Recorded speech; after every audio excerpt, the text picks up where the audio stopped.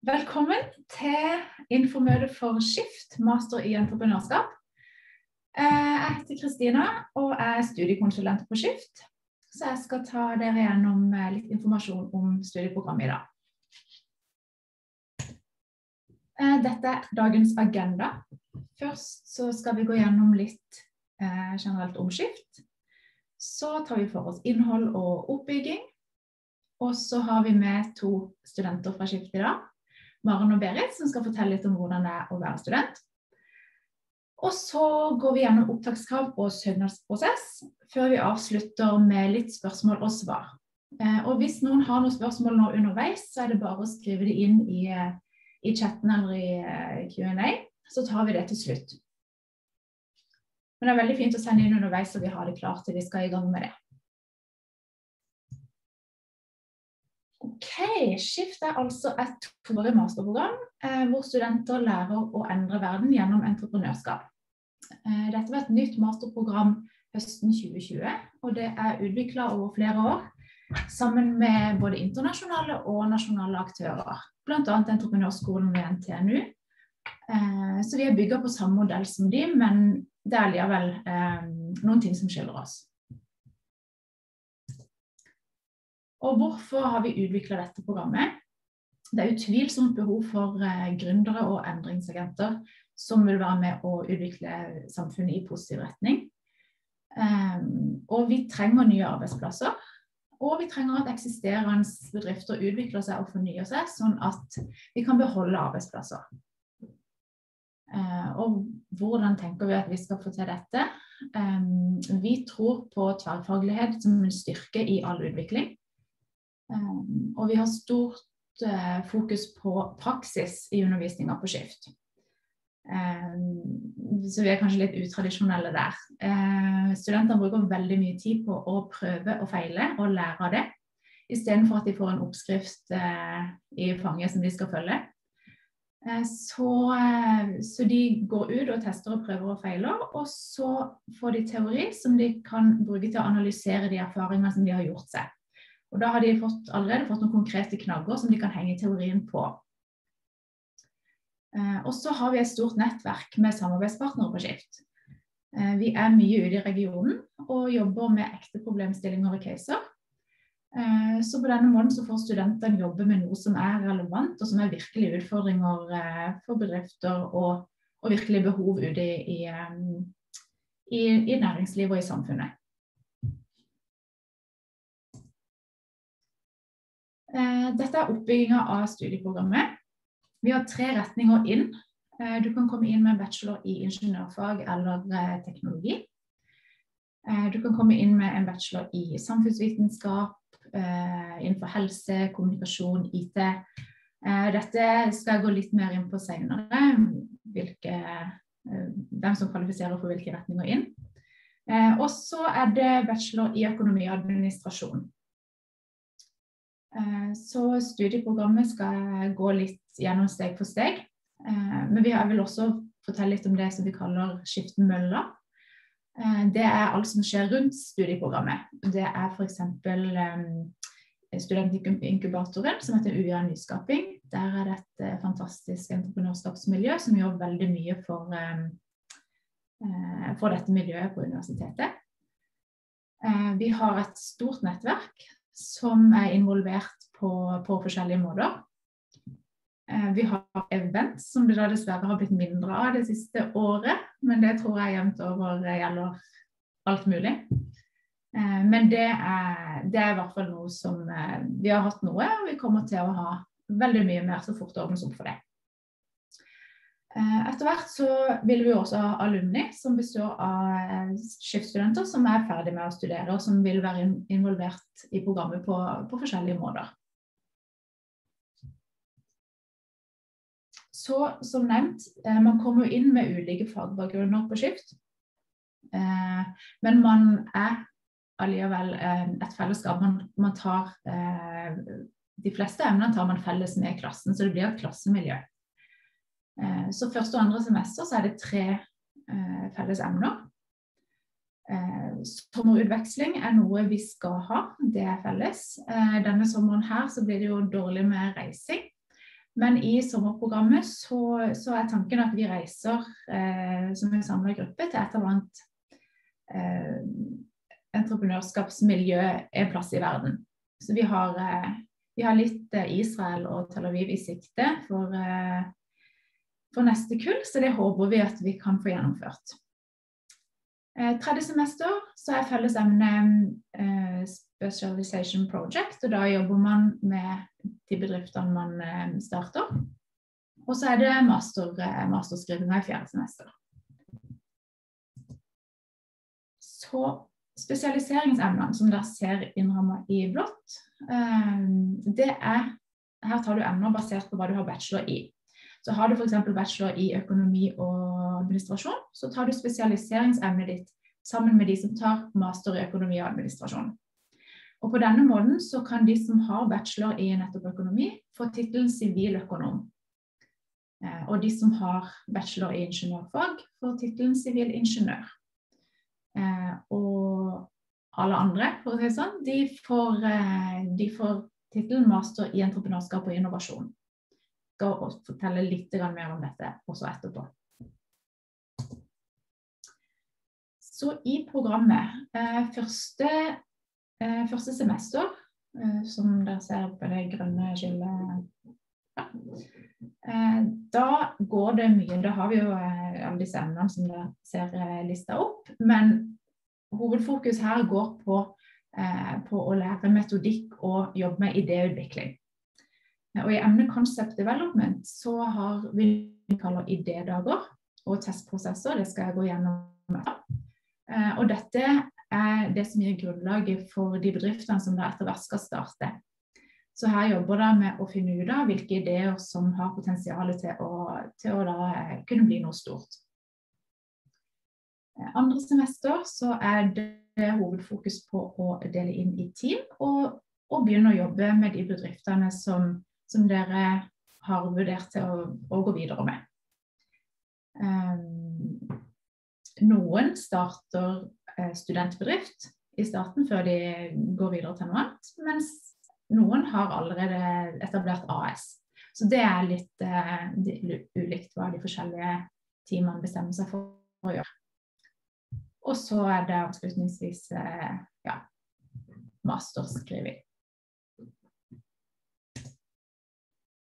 Idédager, som jeg nevnte. Her går bedrifter og forskere og eh, skipsstudenter de samles ut i regionen for å jobbe med reelle utfordringer. Så her ser dere eh, noen bilder fra noen av de tingene vi har gjort i høst. Det har vært veldig, veldig mye moro.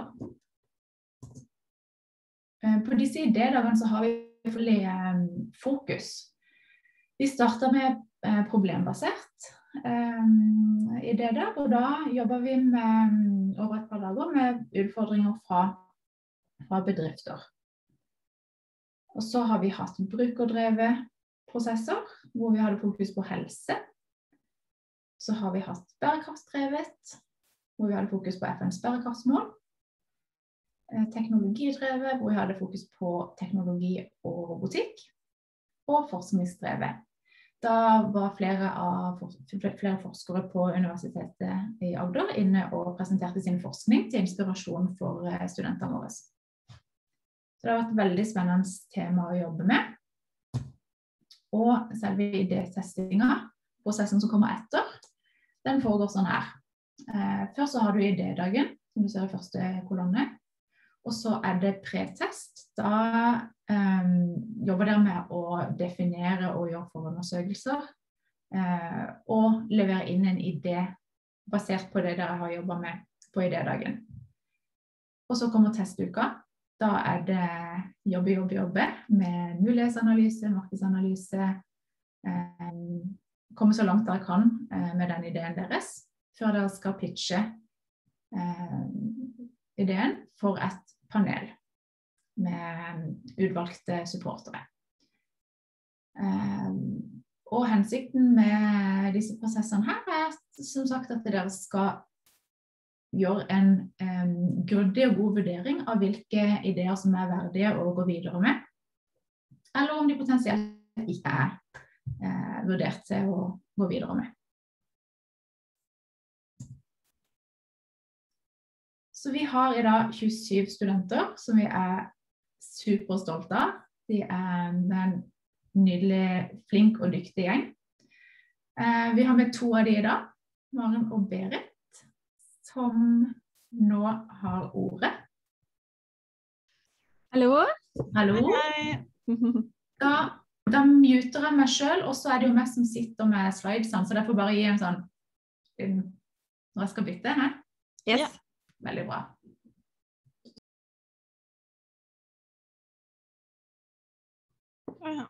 Ja. Ja. jeg er Maren. Jeg går på Skift entreprenørskap og teknologi.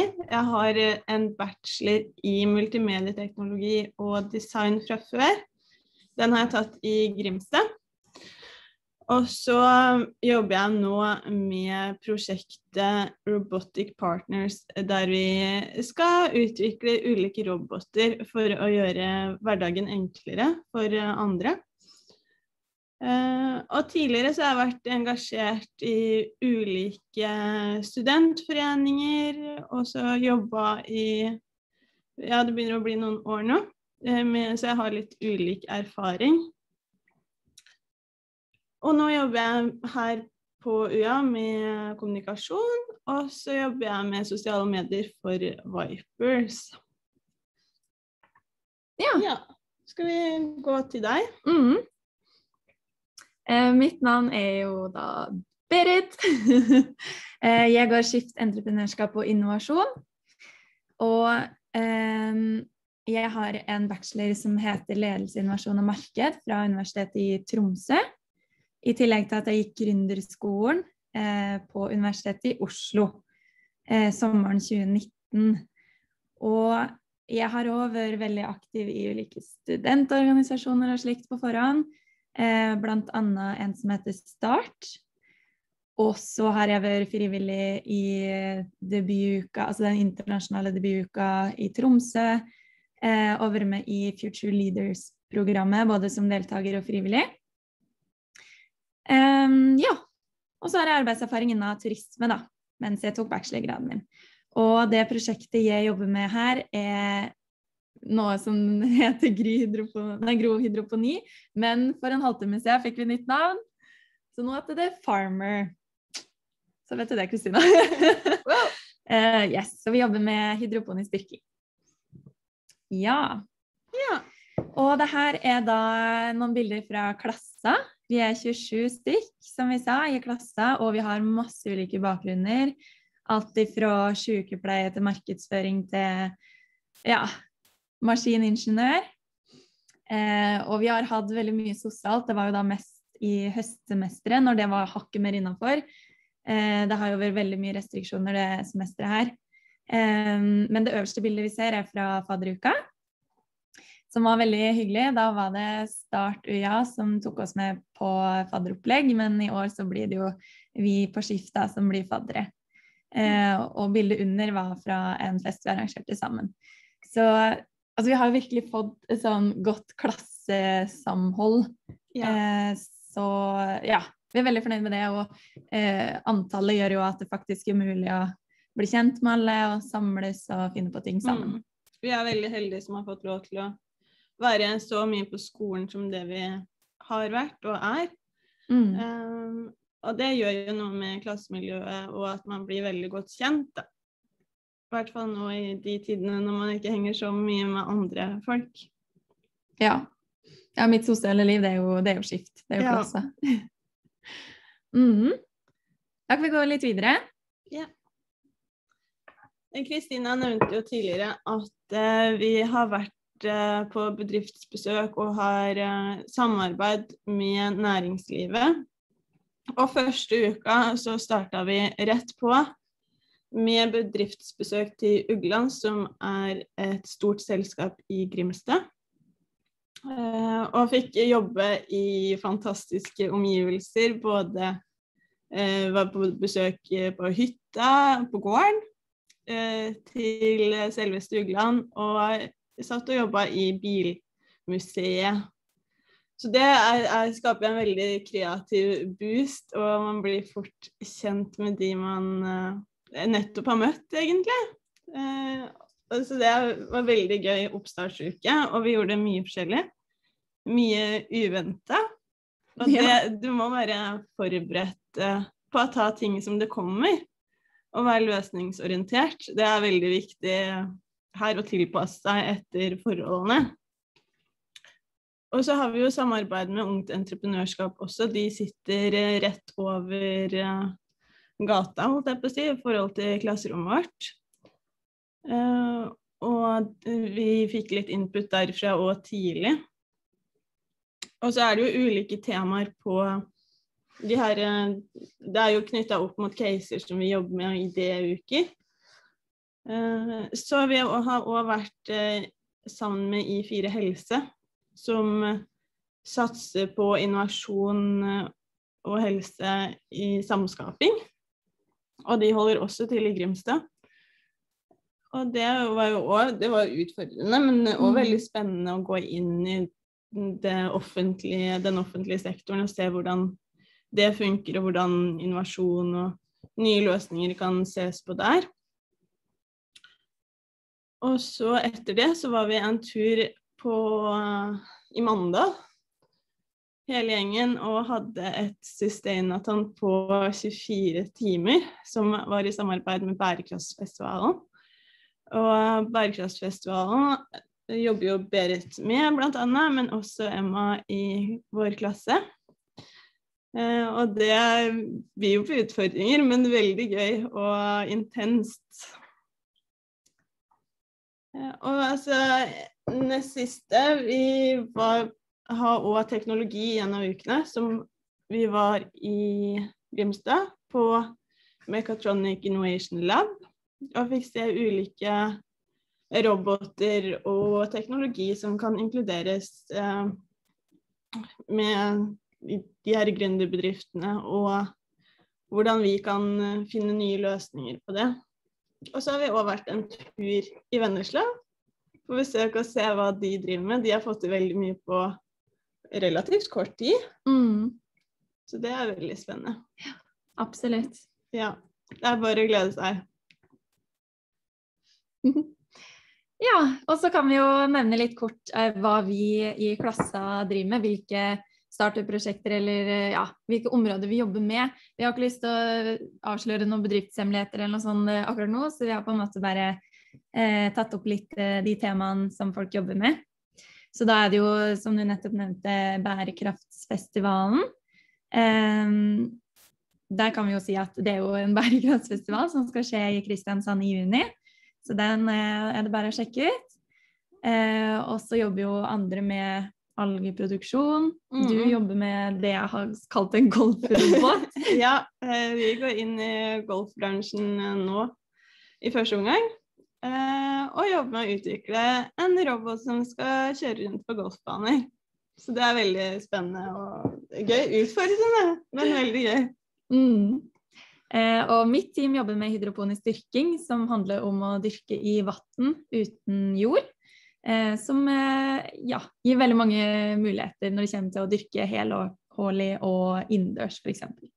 Mm, Og så- ja. har vi eh, en annen gruppe som jobber med psykisk helse og få aktivisert eh, folk som eh, sliter litt eh, med den mentale helsa, og komme seg opp og fram og gi et tilbud til de, da. Mm. Og der har vi også, ja, etter der så har vi båtteknologi. Det er vasking eller rensing av skipsskrog. Eh, I hovedsak under vann, så båten slipper å gå opp i tørrdokk. Mm. Og så har vi denne siste gruppa som jobber med management for gamere. Eh, de skal eh, koble sammen gamere til å få et mer profesjonelt forhold til gaminga, da.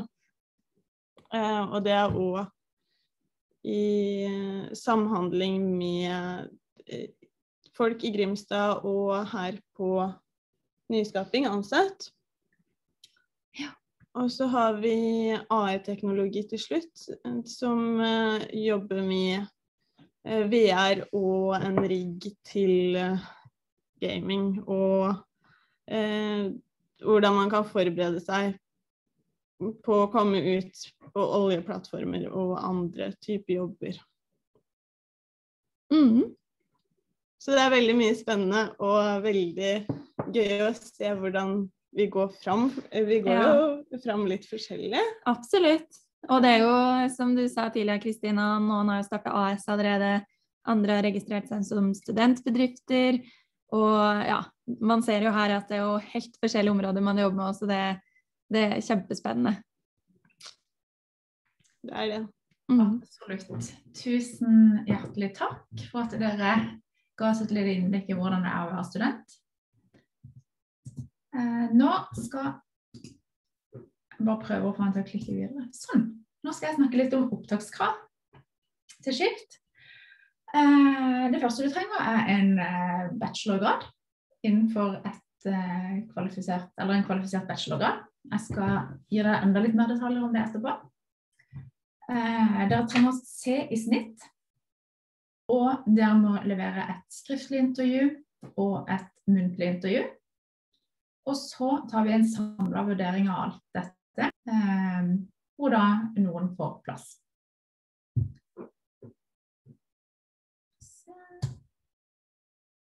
Så for å prøve å um, tegne opp disse ulike retningene litt mer tydelig for dere, vi har tre veier inn, som jeg nevnte tidligere. Det er eh, skiftentreprenørskap på økonomi, skiftentreprenørskap på teknologi og skiftentreprenørskap på innovasjon. Så dere velger som sagt retning basert på hva dere har bachelor i. Så har dere bachelor i, i økonomi og administrasjon, så velger dere skiftentreprenørskap og innovasjon. Nei, entreprenørskap og økonomi har dere en bachelor i um, f.eks. data, elektronikk, fornybar energi, mekatronikk eller multimedieteknologi og design, så velger dere teknologiretninger. Eh, og så har vi skiftentreprenørskap og innovasjon. Det er for det vi kaller for alle andre. Um, og her eh, ser dere lista opp alle. Det er både um, emner innen eh, samfunnsvitenskap, innenfor helse, kommunikasjon, IT. Um, så det er, og dette er bare de bachelorprogrammene som vi har på Universitetet i Agder. Eh, tilsvarende bachelorgrader vil selvfølgelig kvalifisere fra andre universitet.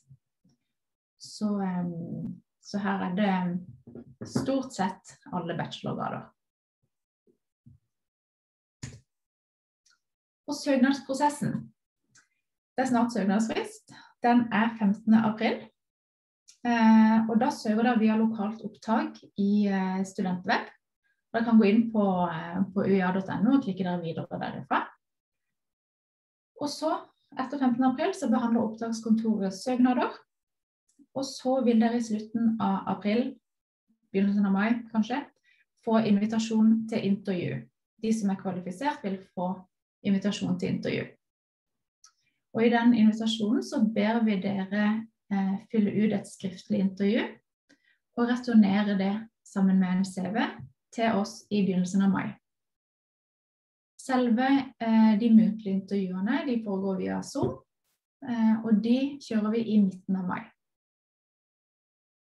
Og så, vi, eh, så går vi gjennom eh, alt av eh, intervjuer og gir ut tilbud til de som får plass, den ca. den 28. mai.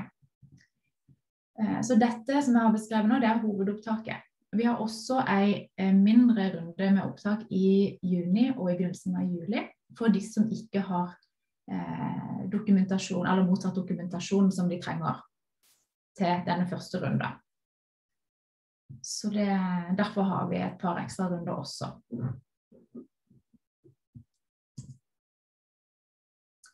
Så avslutter vi med litt spørsmål og svar. Jeg har eh, jeg tenkte å gå gjennom noen som jeg ofte får, eh, og gå gjennom de først. Og så er det bare å fyre løs eh, etter det med spørsmål som dere har kommet opp med underveis. Så det vi ofte blir spurt om, er om man må ha en idé for å komme inn. Og det må du ikke. De vi har tatt opp i år, noen av de hadde masse ideer, noen hadde ingen. Så det må du altså ikke ha. og erfaring med entreprenørskap, det trenger du heller ikke ha. Det er jo selvfølgelig en fordel, eh, men det, det må du ikke ha. Det viktigste for oss er interessen du har for entreprenørskap og, og motivasjonen til å jobbe med dette her.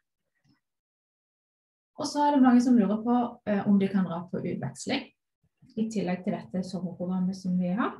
Eh, og, og, ja, det kan du, men spørsmålet er eh, om det er lurt å være vekke fra teamet ditt og være vekke såpass lenge når du skal starte en bedrift. Så det er en, en vurdering som hver enkelt da selvfølgelig må ta. Eh, og så er det noen som er allerede i gang med en master og lurer på om de kan begynne på skift, på skift og få godkjent emner fra den masteren de går på nå. Eh, det er en mulighet, men alltid, det må man alltid søke om. Det tar vi en individuell beslutning på for, hvert tilfelle. Um, så, så, det som må være et krav, er at innholdet i det emnet du har tatt tidligere, kan uh, dekke inn for det emnet du søker fritak fra. Uh, så det må være tilsvarende faglig, faglig innhold. Eh, og så er et vanlig spørsmål om man kan søke på skift uten å miste plass på den masteren man tar med. Eh, og ja, du kan både søke opptak og takke ja til et nytt tilbud om studieplass. Eh, uten at dette vil få innvirkning på studieretten som du allerede har. Eh, men du må jo tidspunkt bestemme deg for om hvilken master du ønsker å fortsette på. Eh, men du går også an å søke permisjon fra den masteren eh, du går på nå, eller man kan sende inn sluttmelding hvis man vil bytte. Og så er det mange som har lyst til å eh, jobbe masse ved siden av og lurer på om vi kan ta skift på deltid. Vi tilbyr ikke skift som et deltidsstudium per nå. Hos oss så er det, det er mye forskjellig. Noen jobber mye, andre jobber ingenting utenfor. Så det det er jo krevende å, å ha mye jobb utenfor studiet, for det er et veldig krevende studie. Både tidkrevende og og mentalt krevende. Så det er jo en vurdering eh, enhver må gjøre for seg sjøl. Undervisningsspråket det er både norsk og engelsk. Vi har både norske forelesere og internasjonale. Så det er en god miks av det. Og eh, studieplasser Vi har i år 27. Um, vi tenker i år at vi kanskje tar opp ca. 20. Uh, men er det like høyt nivå som det var i uh, forrige opptak, så, så er vi veldig åpne for å ta opp en plass mellom 20 og 30. Men det er en fordel at det er litt mindre grupper, med tanke på hvordan vi jobber og, um, og det utbyttet som studentene får. Så er det et veldig OK eh, antall å ligge på. Så er det mange som lurer på hva de kan bli når de er ferdig på skift. erfaring fra andre Eh, tilsvarende studieprogram, er at eh, ca. halvparten pluss jobber videre i egen bedrift. Eh, mange går inn i en annen oppstart eller eh, starter noe nytt. Eh, og det er også veldig vanlig å, å, jobbe med en eller annen form for forretnings, eh, forretningsutvikling etter du er ferdig her. Du kan f.eks. jobbe i en FoU-avdeling hvor du jobber med utvikling eh, i eksisterende bedrifter. Eh, og det er veldig mange stillinger både i offentlig og privat sektor som eh, har behov for, for eh, folk med erfaring fra forretningsutvikling. Eh, og så har vi jo et Ja, og så selvfølgelig i tillegg så får man jo tittelen sin. Man får en master i entreprenørskap og innovasjon eller man får en siviløkonomtittel eller en sivilingeniørtittel. Eh, og så, Vi snakka tidligere om alle våre samarbeidspartnere, og du får et vanvittig stort nettverk når du går på skift.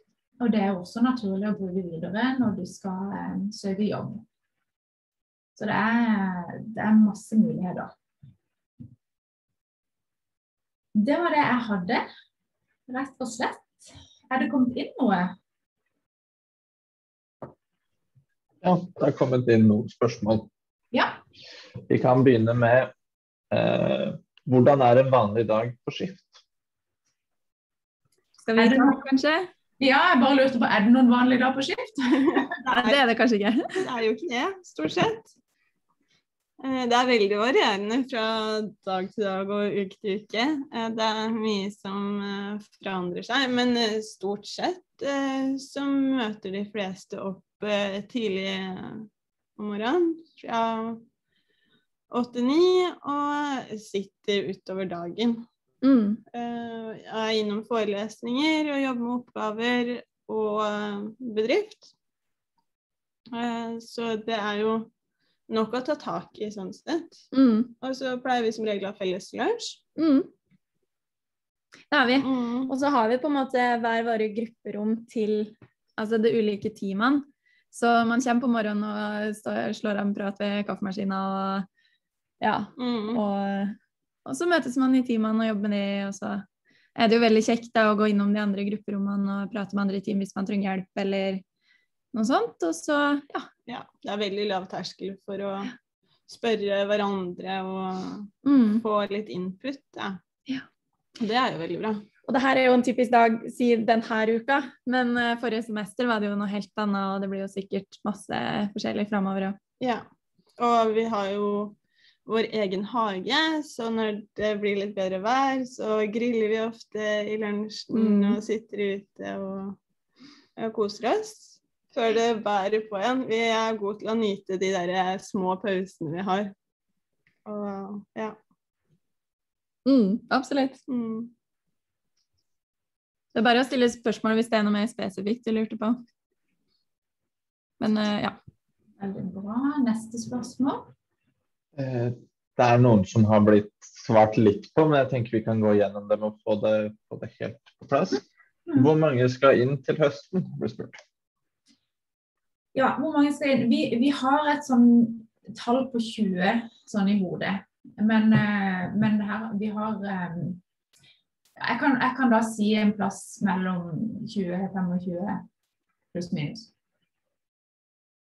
Cirka.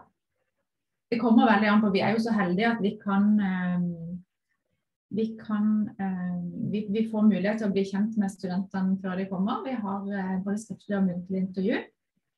Og vi setter sammen eh, det vi mener er en perfekt gruppe. Så om det er 20 eller 23, det, det vet vi ikke, men ca. Innen, innenfor der. Det, det er jo også basert litt på eh, Vi ønsker jo tverrfaglighet og eh, mangfold i, eh, i kullene.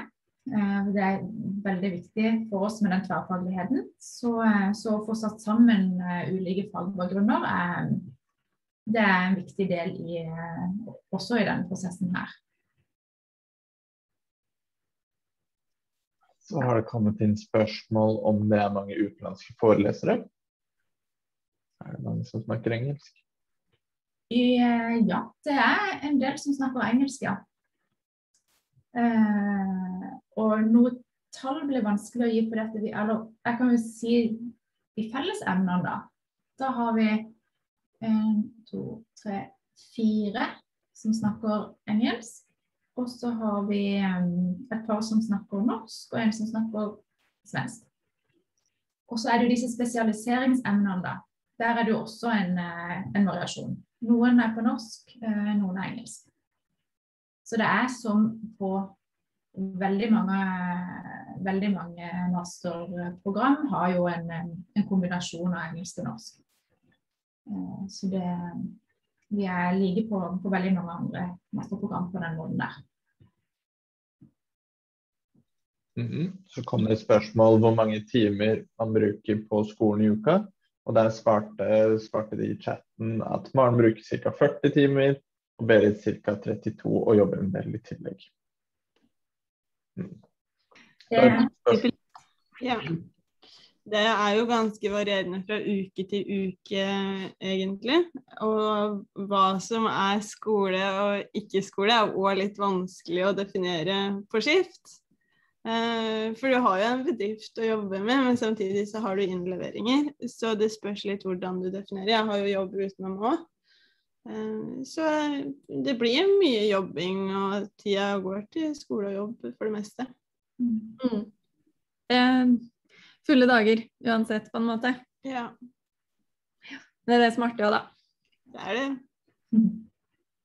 Ja, det, er, det går en del timer. Det er jo eh, stort sett 7,5 studiepoeng eh, i de fleste emnene. Og da er det Da jobber man tilsvarende det man gjør i andre eh, emner på 7,5 studiepoeng. Men, men her har man jo også bedriften i tillegg. Så det er, det er tidkrevende. Det er ikke noe å, eh, å prøve å feie under teppet, det. Det er det. Eh, Men det er allikevel sånn at eh, de fleste hos oss har veldig høy arbeidskapasitet og er kjempeeffektive og strukturerte, og klarer allikevel å ha deltidsjobb og få tid til fritidsaktiviteter og, og andre ting som de har lyst til å gjøre. Så det Alt er mulig. Neste spørsmål da er eh, pleier alle å være på skolen? Ja. Skal vi ta den? Altså ikke alle. Det er jo to team som er glad i å sitte litt mer digitalt og sånn. Mm. Vi er en god, veldig god gjeng som er mye på skolen.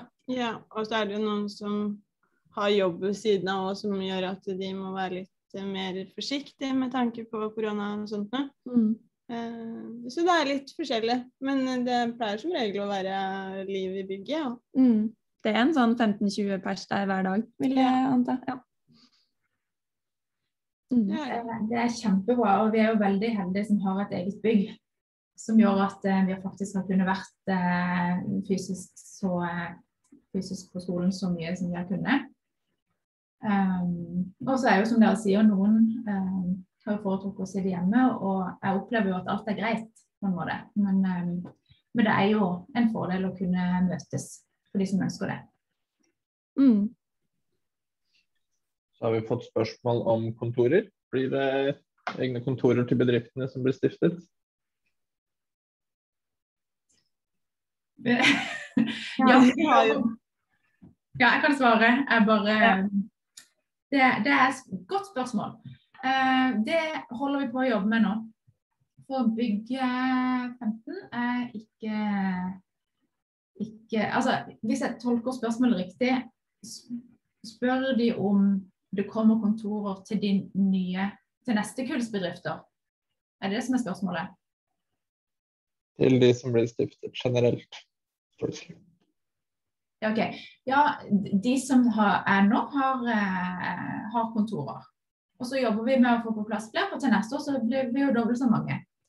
Så, eh, så det må vi få på plass til, sånn at alle får et, eh, et rom å jobbe på. Mm.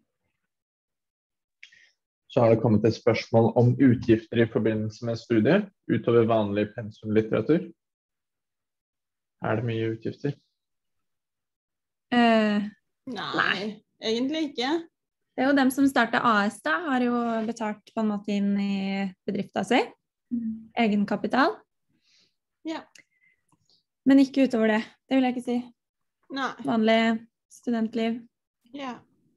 Mm. Og dette med egenkapital, hvis man velger å starte AS såpass tidlig, så det er jo det en vurdering man gjør, eller en investering man, man da velger å gjøre. For det, det finnes jo andre måter å tjene seg opp den egenkapitalen på.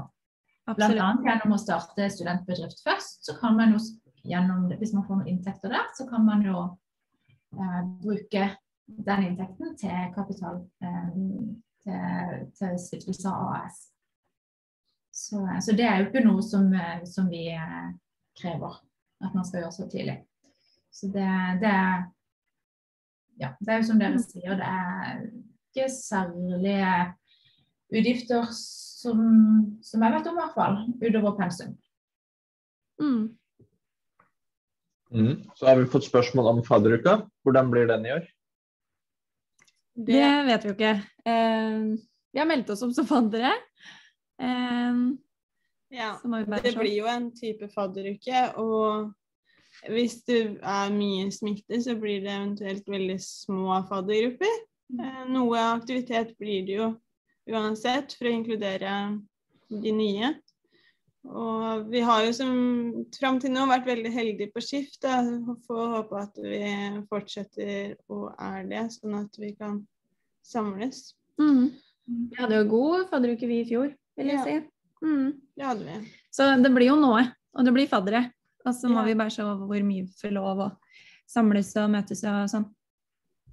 Ja. Ja. Så da blir det festing og I verste fall med to meter avstand. Ja. ja Mm. Veldig heldig med- morsomme aktiviteter.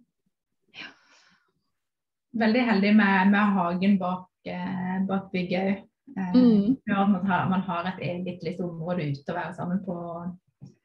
Eh, I fjor også så var jo dere veldig heldige som eh, kunne gjøre så mye som dere gjorde. Absolutt. Ja. Mm. Så hvordan, hvordan oppstarten blir er jo vanskelig å si, men vi eh, lever jo alle i håp om at eh, det blir bedre over sommeren. Ja. Yep. Neste spørsmål, da slår jeg sammen noen. Eh, Det er da Skjer det noe sosialt i klassen, og pleier studentene å gjøre noe felles på fritiden? ja. Masse. Vi gjør jo det. Ja. Uh, ja, det kan vi jo. Uh, hver fredag så har vi jo ukens happening, og det er vinlotteri med bra gård.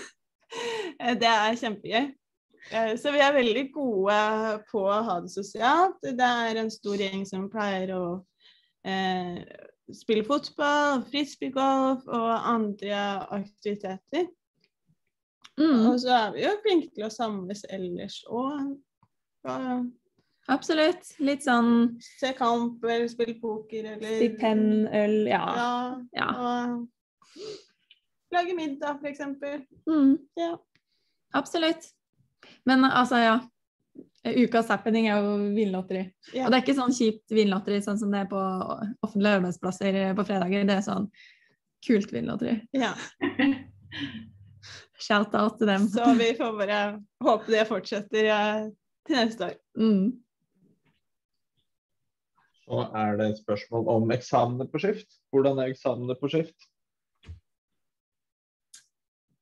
Ja, de, det er jo eh, Hvordan er savner på skift? Det, det er liksom ikke noe standardsvar på det. Det er ulike eh, eksamener. Det, noen er gruppebasert, gruppeeksamener. Noen er vanlig skriftlig eksamen. Eh, og nå har det jo Alt har jo vært digitalt til nå, hjemmeeksamen. Eh, så det er det er nok eh, eksamensformer som man er vant til fra tidligere. Mm.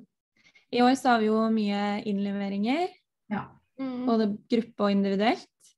Eh, ofte når det er det, så er, er det to innleveringer i samme fag, og, og da er det både gruppe og individuelt. Mm.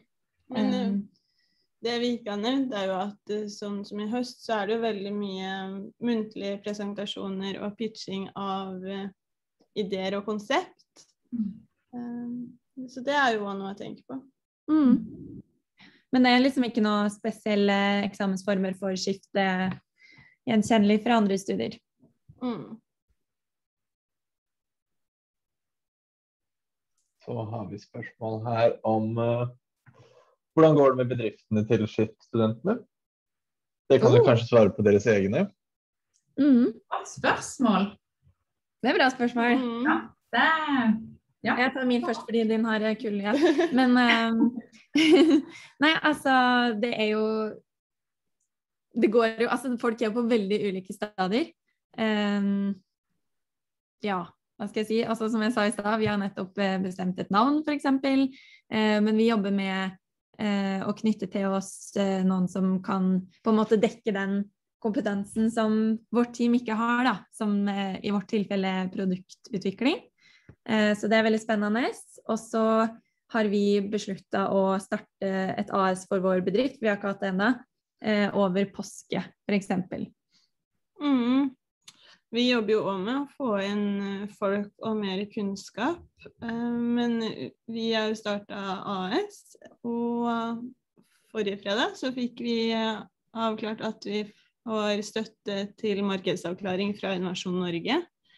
Og det er veldig gøy. Stas. Og det er det òg to av de andre bedriftene som har fått. Så folk har troa på konseptene våre, Og det er veldig spennende. Så det går framover. Mm. Ja, virkelig. Det er skikkelig kvalitetsstempel at allerede så er det tre stykker som har eh, fått markedsavklaringspenger fra Innovasjon Norge. Det er virkelig imponerende. Det er kjempegøy. Mm. Så det er nå arbeidskapitalen har kommet inn, så de kommende ukene blir jo spennende hvor man faktisk bruker pengene. på Ja. Mm. Mm. Har dere noen, eh, noen tips til nye studenter på skift? Um, man må være glad i å være med folk. Henge med folk. Mm. Det er mye liv eh, eh, stort sett hele tida. Mm. Um, Og så kanskje god på liksom balansere jobb og skole og fritid og um, være god på å planlegge tida si, fordi det vil ta en del Mm. tid, og så vil det på en måte ta den tida du ønsker å legge inn i det. ja. Uh, men nå tenke litt igjennom hvor mye tid og energi du vil legge inn i studiet. Det er lurt. ja. Være god på å ha andre ting utafor. Eh, om det bare er å komme seg litt ut eh, i løpet av dagen eller hva da, så er det jo veldig viktig å ha en avkoblingsmetode, da. Mm. Ja, og så er det jo veldig spennende å følge med på hva som på en måte skjer i Startup Norge og Startup Skandinavia. Så hvis man klarer å liksom holde seg litt Mm. informert og følge med, så er det veldig pluss. Ja, det er det. Um. Så det er bare å jobbe på, egentlig, og kanskje nyte litt den fritida du har nå. Det, det, det er tøft. Det er tøft, Ja. men det er veldig verdt det. Mm. Så har det kommet spørsmål om Teams. Hvordan eh, deler man inn i team til bedriftene? Det gjør vi på den måten at uh, man jobber jo i, i høstsemesteret. Så for, så for hver sånn idéprosess så deler vi eh, studentene inn. Da mikser vi team. Da får alle jobbe med alle. Så godt som. Så langt det er mulig. Eh, og i de prosessene der så får eh, Alle disse prosessene avsluttes jo med en pitch, så alle får jo informasjon om de ulike um, ideene som er blitt testa ut. Så til slutt da så sitter vi med eh, en ganske god samling eh, av ideer. Og da, før jul, så sender studentene inn en form for søknad. De, skriver, de lister opp de eh, konseptene som de har lyst å jobbe med, rangerer de én til fire. Og så skriver de eh, mm, navn på medstudentene sine, hvem de ønsker å jobbe i team med. Og også hvem de eventuelt ikke ønsker å jobbe i team med av ulike årsaker. Og det kan være årsaker, sånne årsaker til at man ikke ønsker å jobbe med, og det kan være veldig mye forskjellig. F.eks. For at man har veldig lik kompetanse, og man ønsker å eh, jobbe med den som f.eks.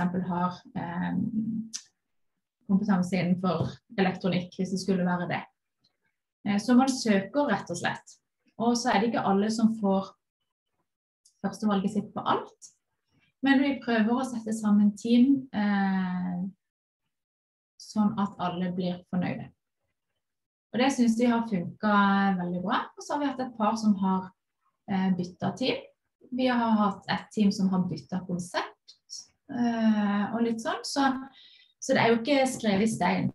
Men, eh, men har, den ordninga der har funka eh, ganske bra, altså. Alle virker eh, fornøyde med, med det. Så det er den måten vi, eh, vi, vi eh, setter sammen team og, eh, og konsept på.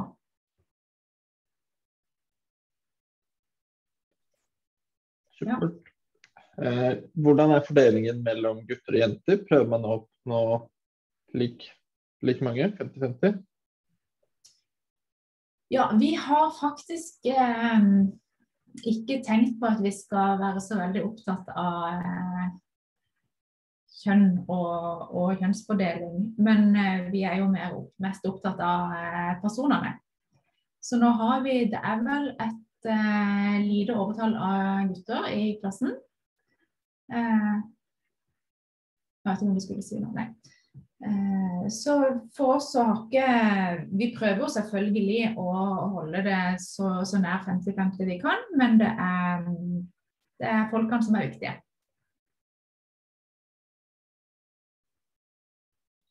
Så har vi et spørsmål om eh, hvordan er det lærerne på studiet? Kanskje best i Maren og Berit? Ja. Ja. Eh, lærerne, ja. Det er jo noen på en måte faste folk som vi forholder oss til, og så er det jo noen som vi bare har i enkelte fag.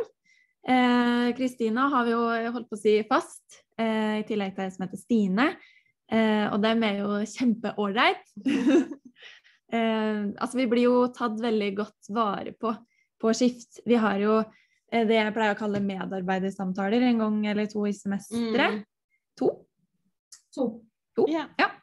Eh, så det er jo supert. Eh, og så har jeg jo inntrykk av at eh, nivået på forelesere ellers er veldig høyt. ja. Mm. Vi har jo både i høst og nå i vår så har vi jo utenlandske forelesere, som var nevnt. Det er noen vi har møtt eh, her i Kristiansand, men noen vi jo bare ser digitalt. Så det er jo litt forskjell på hvilket forhold man får til uh, forelesere. Men vi har et veldig godt støtteapparat rundt oss her på Skift. Mm. Mm. Ja, eh, det er jo selvfølgelig synd at noe, noen emner har, et par emner har måttet blitt undervist eh, digitalt dette semesteret fordi at foreleserne ikke har kunnet komme seg til Kristiansand. Eh, men etter hvert så blir jo, blir jo alle, alle undervisning, stort sett all undervisning fysisk. Og eh, vi prøver jo alle vi som jobber på skift å være veldig påkobla og tilgjengelige. Så jeg tror vi er eh, veldig mye tettere knytta til studentene våre enn enn mange andre er. Og også fordi at vi er såpass, eller det er såpass liten studentgruppe, så vi kan faktisk ha mulighet til å følge opp alle. Um, og i tillegg til oss som jobber uh, direkte inn på skift, så har vi jo også uh, et, et stort støttesystem på universitetet med ulik kompetanse som vi knytter til oss på, på forskjellige måter. Uh, blant annet Muri som er her, som er leder av UiA Nyskaping, inkubatoren, og, eh, og ellers på, eh, på universitetet. Så vi, eh, vi prøver i hvert fall så godt vi kan å, eh, å være veldig påkobla og, og være tilgjengelige. Mm. Og det er dere jo absolutt. Mm. Det er bra. Det vil jeg si. Veldig bra. Døgnet rundt. Neida. Ja. Nei, jeg skal ikke love bort noe. Jobbe, jobbe. Jobbe, jobbe. Da var vi gjennom alle spørsmålene.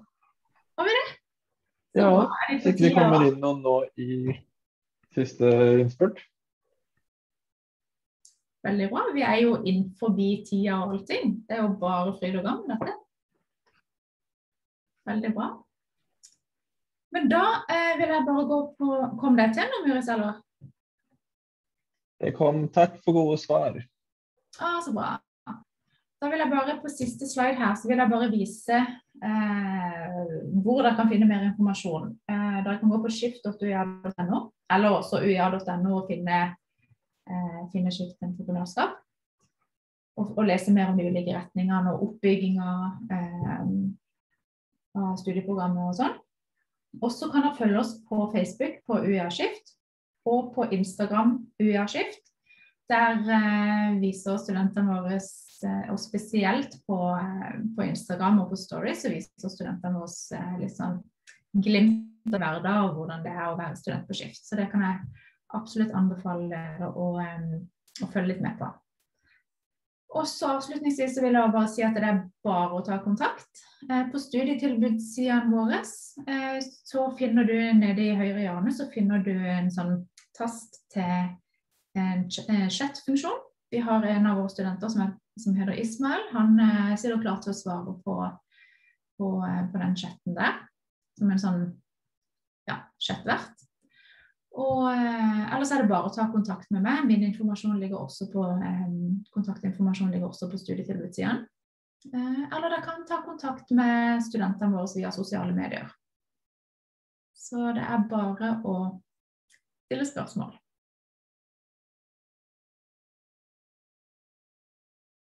Ja. Vil, det var det noen flere som ville si noe? Eller så bare takker jeg veldig for oppmøtet og alle som ville eh, høre på. Så håper jeg at dere vil søke, og at vi ses til høsten. OK, da avslutter vi.